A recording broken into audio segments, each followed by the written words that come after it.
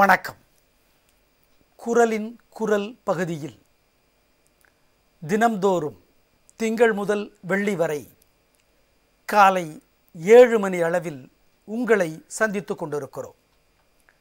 திருக்குறள் இந்த நவீன வாழ்க்கைக்கு எப்படியெல்லாம் உதவியாக இருக்கிறது என்பதை இன்றைய அவசர வாழ்க்கைக்கு இயந்திர வாழ்க்கைக்கு பரபரப்பு வாழ்க்கைக்கு திருக்குறள் எப்படி வழிகாட்டுகிறது என்பதை நாங்கள் புதுமையான பார்வையிலே சொல்லி கொண்டிருக்கிறோம். அளவளாவுதல் அப்படின்னா என்ன? அளவளாவுதல் கூடி பேசி மகிழ்தல். பேசி மகிழ்தல்னா கல்யாண வீட்டில் பாருங்க. ஏதேதோ பேசுவோம் அர்த்தமில்லாமல் சிரிப்போம் அர்த்தமில்லாமல் கேள்வி கேட்போம் அர்த்தமில்லாமல் பதில் சொல்லுவோம் ஆனால் சிரிப்பாக இருக்கும். அதற்கு பெயர்தான் அளவுலாவுதல். இந்த அளவளாவுதல் எதற்காக அப்படின்னா அது நம்முடைய மனநலத்தை மேம்படுத்தும். ஆமாம் மனநலத்தை மேம்படுத்துவதற்கு அளவளாவுதல் முக்கியம். அப்படி அளவளாவுதல் வேணும் அப்படின்னா என்ன செய்யணும்? நம்ம நாலு பேர்கிட்ட சிரித்து பேசணும். அவங்களும் சிரித்து பேசுவாங்க. நம்ம யார்கிட்டையுமே பேச மாட்டோம். ஆனால் எல்லாரும் நம்மக்கிட்ட வந்து பேசணும்னு எதிர்பார்க்கிறது இருக்குதே அது செய்யலாம். எப்போ செய்யலாம் தெரியுமா? நம்மக்கிட்ட நிறைய பணம் இருக்குன்னு வச்சுக்கோங்க. பெரிய பதவி இருக்குன்னு வச்சுக்கோங்க. பெரிய செல்வாக்கு இருக்குன்னு வச்சுக்கோங்க. அப்போ எல்லாரும் வந்து பேசுவாங்க. எல்லாரும் வணக்கம் சொல்லுவாங்க. ஆனால் அதற்கு பெயர் அளவளாவுதல் அல்ல. அதற்கு பெயர் வேற. நீங்கள் ஒன்று சொல்ல அவங்க ஒன்று சொல்ல. அப்படி பேசி சிரித்து மகிழ்வதற்கு பெயர் தான் அளவளாவுதல் அப்படி அளவளாவு இல்லாதான் வாழ்க்கை.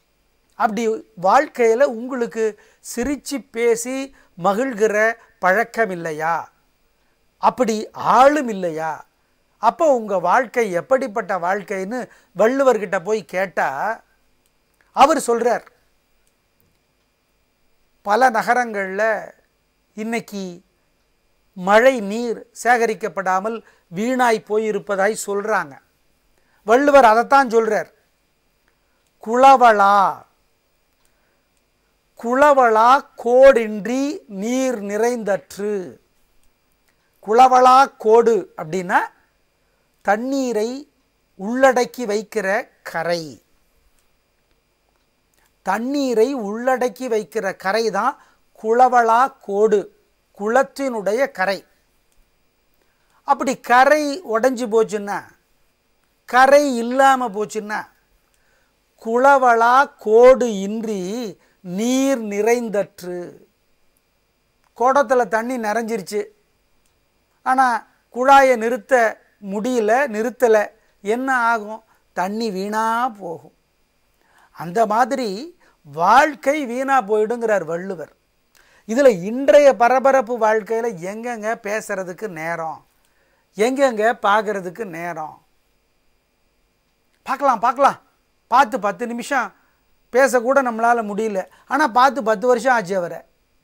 சரி பத்து நிமிஷம் வேண்டாம். பத்து வினாடி தான் பேச முடியுதுன்னா அது பரபரத்து கொண்டிருக்கிற வாழ்க்கை. அதனால் என்ன பிரச்சனை வரும்? ரத்த அழுத்தம் அதிகமாகும். இப்போது நீங்கள் தமிழ்நாட்டிலேயே மிகப்பெரிய மருத்துவமனையான சென்னை மருத்துவக் கல்லூரி மருத்துவமனைக்கு போனீங்கன்னா அரசாங்க மருத்துவமனைக்கு அங்கே ஜெரியாட்ரி அப்படின்னு ஒரு பிரிவு இருக்குது முதியோர் மருத்துவம். அந்த முதியோர் மருத்துவத்தில் ஒரு பெரிய சிகிச்சை முறையாக என்ன சொல்கிறாங்க வயசானவங்களுக்கு? பேசுங்க.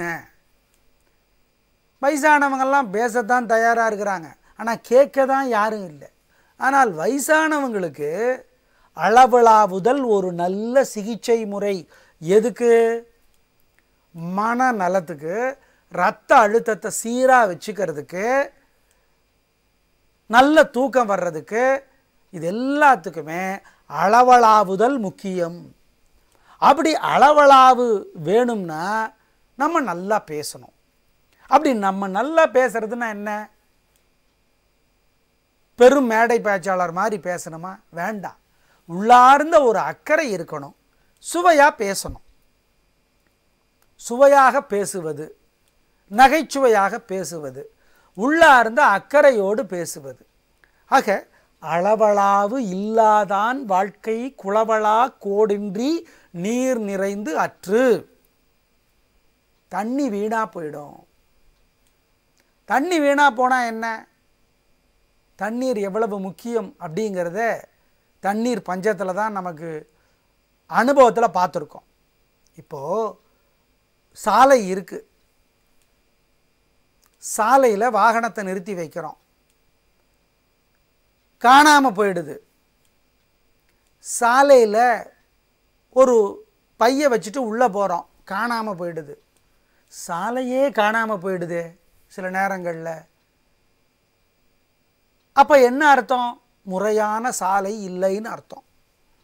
அதே மாதிரி குளவளா கோடின்றி நீர் நிறைந்து அற்று முறையான கரை குளத்துக்கு ஏரிக்கு இல்லைன்னா ஏரி தண்ணீர் குளம் தண்ணீர் வீணாகி போகும். அந்த மாதிரி அளவளாவு இல்லைன்னா வாழ்க்கை வீணாக போயிடும். எனவே கேட்டுக்கொண்டிருக்கிற இளைய தலைமுறை நண்பர்களே உங்களுக்கு அளவலாகிறதுக்கு நிறைய பேர் இருப்பாங்க. வயசானவங்களே உங்களுக்கு அளவலாக இருக்காங்களா? நல்லா சிரித்து பேச வர்றாங்களா? கூப்பிட்டா வராங்களா? ஐயோயோ தொல்லை தாங்க முடியலன்னு ஓடி போகிறாங்களா உங்களுக்கு ரெண்டு மூணு பேராவது வந்து பேசுகிறதுக்கு இல்லைன்னா உங்கள் பேச்சு தன்மையை மாற்றணும் உங்களுடைய எண்ண ஓட்டத்தை மாற்றணும் அக்கறையாக பேசுங்க. சுவையாக பேசுங்க. அப்படி பேசுனீங்கன்னா அளவுலாவுதல் நடக்கும்.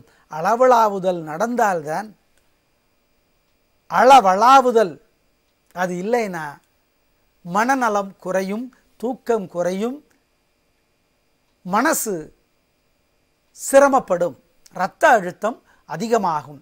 எனவே தான் சொல்கிறோம் வள்ளுவர் சொல்கிறது நம்முடைய உடல்நலத்துக்காகவும் சொல்கிறார் தயவு செய்து சிரித்து பேசி மகிழ்வதற்கு வயசானவங்களே உங்களுக்கு ஆள் இருக்காங்களா? இல்லையா? இன்னைக்கு ஆரம்பிங்க வேலையை. எந்த வேலையை?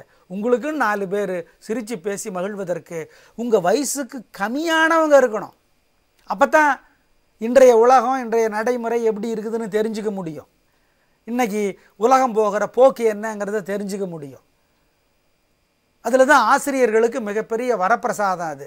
ஆசிரியர்களுக்கு என்ன வயசானாலும் அவங்க தங்களுடைய ஆசிரியர் தொழிலின் காரணமாக இளைய தலைமுறையோடு தான் பேசிக்கிட்டே இருப்பாங்க. ஆனால் எல்லாரும் ஆசிரியராக இருக்க முடியாது இல்லையா? எனவே அளவளாவுதல் முக்கியம். ஆரம்பியுங்கள் வேலையை. நாளை பார்க்கலாம்.